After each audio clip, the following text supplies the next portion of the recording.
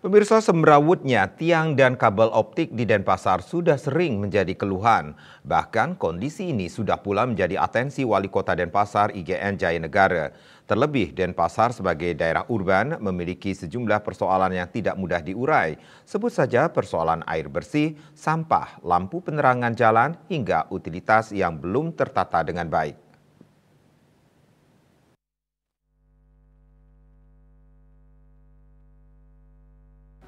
Empat persoalan itu telah dijadikan skala prioritas oleh Wali Kota Denpasar Ikian Jayanegara bersama wakilnya Kade Agus Arya Wibawa dalam tahun ini.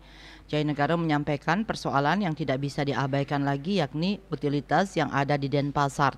Selama ini pihaknya melihat pemasangan kabel-kabel optik cukup banyak sehingga menambah semerawut wajah kota. Karena itu pihaknya memiliki program untuk menurunkan kabel-kabel tersebut dalam satu saluran di bawah tanah.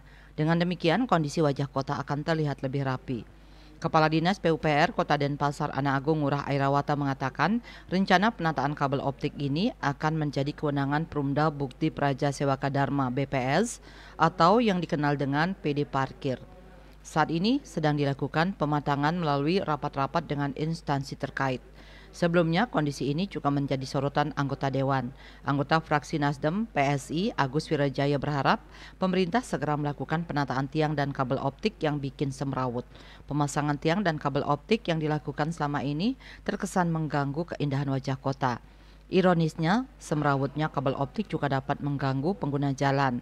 Agus Wirajaya juga meminta agar dicarikan solusi agar pemasangan tiang di ruang publik bisa memberikan kontribusi terhadap Pemkot dan Pasar.